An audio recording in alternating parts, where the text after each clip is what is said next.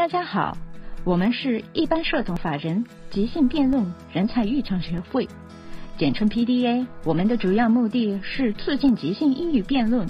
我们将在本视频中介绍 PDA 的代表人中村志浩博士，是大阪府立大学工学院机械工学领域的副教授。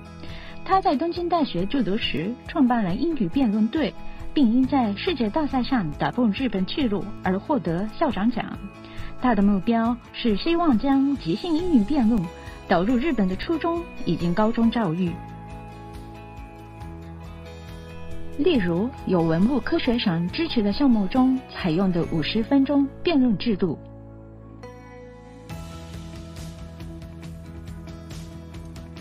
他现在已经把这种方法交给了一千多所学校的老师。英语辩论不仅仅是为擅长说英语的人而有的。经过不到一年的培训，无留学经验的日本学生也可以用十五分钟的准备时间做一个七分钟的演讲。为什么呢？因为在即兴英语辩论中，每个人都必须轮流发言。一开始对每个人来说都很难讲七分钟，然而有了知识、词汇和经验，讲起来就会容易得多。此外，在辩论中倾听别人的意见是很重要的，因为辩论有明确的主题和立场。这意味着听取对方发言、展开讨论以及归纳要点，比完美的英语更为重要。现在，我们将为你说明即兴英语辩论的规则。Parliamentary 辩论是以英国议会的辩论为模型的辩论方式，它有两个与其他辩论方式不同的地方。首先是准备时间短，在辩论开始的十五分钟前才知道主题。在其他辩论方式中，辩论者可以提前几天准备演讲，但在即兴英语辩论中，在十五分钟内尽你所能，比收集证据更为重要。第二个不懂的地方是你必须要用你的演讲来说服听众。辩论不是由专业人士。而是由有普通知识的人进行的，需要用简单的词汇来表达你的观点。接下来，我们将为您说明能够通过即兴英语辩论获得的五种能力。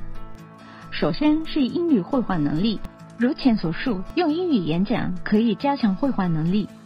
一般来说，英语沟通能力是通过普通的交谈或讨论来训练的，但这些方法多有其盲点。例如，如果有人问你昨天吃了什么，你会如何回答？你可能会简单的回答我吃了米饭。这样简单的绘画是不会提高你的绘画能力的。像辩论那样需要总结观点后发言，才会提高真正有用的绘画能力。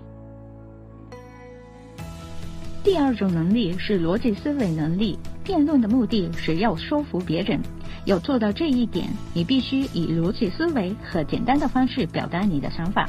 此外，评委会在每次辩论后对你的论点给予反馈，从错误中吸取教训，你的逻辑思维能力就会大大提高。第三种能力是知识的广度，每次辩论的主题都不一样，对各个领域感兴趣会增进你的知识。当你辩论的话题出现在新闻时，你对社会的兴趣自然也会提提升。第四种能力是表达能力，在辩论中，你的语气和手势也会被比分。如果你低头或小声说话，你就无法说服任何人。在别人面前演讲会提高你的表达能力。最后一种能力是沟通能力，辩论通常是以团队进行的，因此想与队友交流你的想法需要沟通能力。因此，正如你所看到，即兴英语辩论将丰富你在未来必不可少的能力。对某些人来说，辩论规则似乎很复杂，但即兴英语辩论规则却相当简单，就算是初中生也可以参加。首先，辩论者分成两组，分为正方和反方各组三个人。正方的第一位发言人陈述主张，并给出支持其主张的理由。其次，反方第一位发言人反驳正方的第一个理由，并给出反对理由。之后，正方成员将反驳反方，然后加上第二个理由来支持他们的观点。反方的成员也以同样的方式发表演讲。最后，反方将在正方做总结之前，对他们的立场做一个总结。如前所述，一场辩论由六个演讲组成：正方一、反方一、正方二、反方二、反方总结以及正方总结。每次演讲多有三分钟的时间发表，但每次总结只有两分钟的时间。一般情况下，演讲可以比规定时间长三十秒或短三十秒。即使一开始你不能讲那么长时间，也要尽力表达你的想法。辩论结束后，评委将根据各队陈述的说服力来决定获胜队伍。上述规则是为三人小组制定的，但如果是四人小组，正方以及反方的第二次发言将由两个人在三分钟内完成。最后，即兴英语辩论中有一项特殊规则，叫做 POI。POI 代表信息点是一个向对方提问的制度。引入这个制度是为了加深辩论。当你想在对方演讲中提问或指出问题时，说 POI 并举手。如果对方同意，你可以在十五秒内提问。当然，对方可以选择不接受 POI。正式的 POI 方法是举手的时候要把另一只手放在头上。这是因为在过去，英国议员必须把一只手放在头上，确保他们的假发不会掉下来。即兴英语辩论使用三种辅助教材，具体来说是用来写头脑风暴的纸、演讲稿以及辩论的流程图。第一章是用来写头脑风暴的想法。并在逐备时间决定使用哪一点，尽可能多列举你的观点，然后选择你认为最有说服力的两个观点，试着用五个单词以内来说明这些观点。这些观点被称为路标，可以在你的演讲中使用。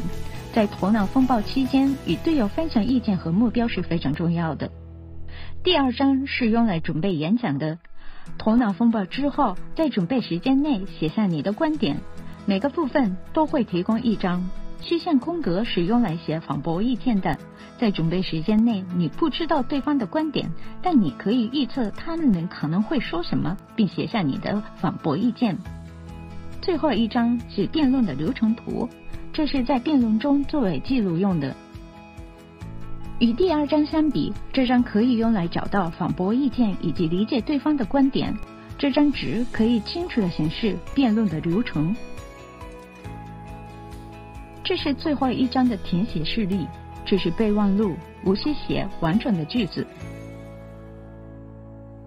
最后，评委要记住一些要点，获胜队伍将由内容已经表达的说服力来决定，在内容上以理由及案例的清晰度做出判断，在表达上以眼神交流、手势等做出判断。